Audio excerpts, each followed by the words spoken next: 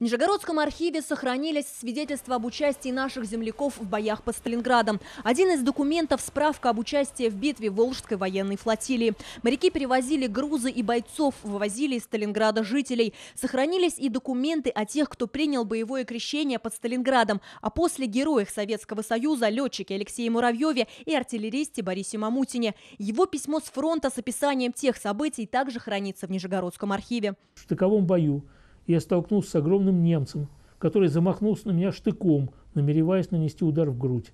Левой рукой с автоматом я отбил укол, но все-таки этого было недостаточно. Немецкий штык зацепил меня за левое плечо. Правой рукой я нанес ему удар ножом в глаз. Немец замертво свалился на дно траншеи.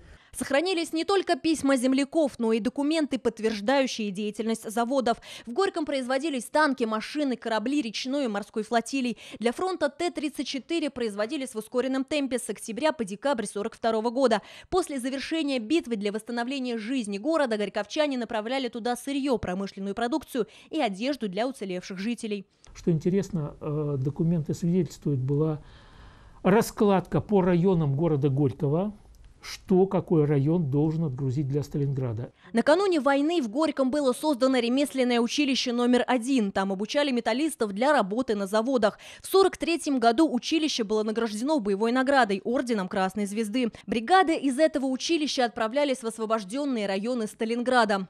В архиве сохранился и альбом воспоминания с фотографиями бойцов противотанкового полка. Он еще назывался «Запорожский», освобождал Запорожье, а формировался в Иксе. И потом они прошли Миллерово, э, Южная Украина, Запорожье. Здесь были тяжелые бои, они получили свое почетное наименование запорожские. Никополь, Николаев, Одесса, Кишинев, Винница. А потом переброшены в Польшу Сандомир, Глогу, э, Глогув по нынешнему, Глогау, Бреслау, Вроцлав и Будапешт, Веспрем. В Веспреме, в Венгрии они закончили боевой путь в 1945 году.